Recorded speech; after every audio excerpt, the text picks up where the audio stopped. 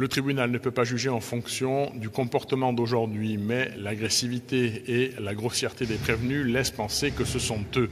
Ces mots sont ceux de euh, Valérie Harrig, la procureure qui a requis entre 6 mois d'emprisonnement ferme à 30 euh, mois, 30 mois pour Aziz Doudouche qui est présenté comme euh, le leader de ce groupe. L'audience a effectivement été marquée par l'agressivité des prévenus qui ont posé des questions aux avocats, à la présidente alors qu'ils sont là pour y répondre, qui ont parfois été grossiers. Un prévenu Aziz Aziz Doudouche, justement, a dû être évacué, à tel point que d'aucuns ont pu imaginer que les meilleurs alliés de la partie civile étaient justement les prévenus.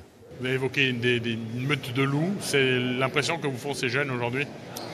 C'est effectivement l'impression que m'ont fait ces jeunes, puisque si vous avez assisté à l'intégralité des, des, débats, vous avez pu constater une certaine agressivité qui persiste encore, malgré l'ancienneté des faits. Et c'est ce qui me semble, euh, ce que tout le monde a pu constater, en tout cas, c'est ce que moi j'ai déploré. Cet après-midi, les quatre pompiers et le policier blessé sont venus raconter les faits du 24 décembre.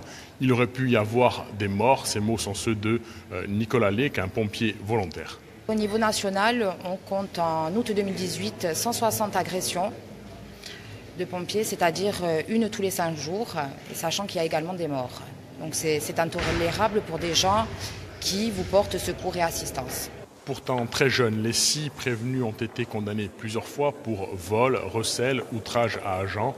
Le profil a pesé dans euh, cette audience, mais l'enquête a été bâclée. C'est le propos de la défense, rejoint en partie euh, par le procureur. Il n'y a pas de reconnaissance formelle euh, par les victimes des agresseurs. Il n'y a pas d'ADN. On écoute Maître Doumé Ferrari. Le contexte, oui, bien sûr, il est relativement lourd, hein, parce que moi, c'est une agression qui est vraiment moralement pesante. Euh, le problème, c'est qu'il faut serrer après des responsabilités, et c'est très difficile, si vous voulez, de serrer des responsabilités quand on n'a pas les, protagonistes principaux dans une affaire. C'est quand même un peu compliqué.